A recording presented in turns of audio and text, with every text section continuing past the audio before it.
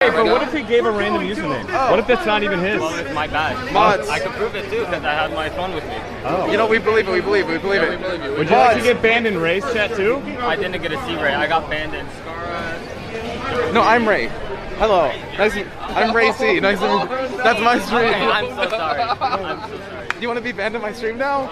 All right, mods, we're banning him anyway. Because honestly, what kind of disrespect is that? No. Just ban him. I was thinking of the wrong way. I All right, apologize. here's the here's the username. Alright, one of the boss, please. Do the deed.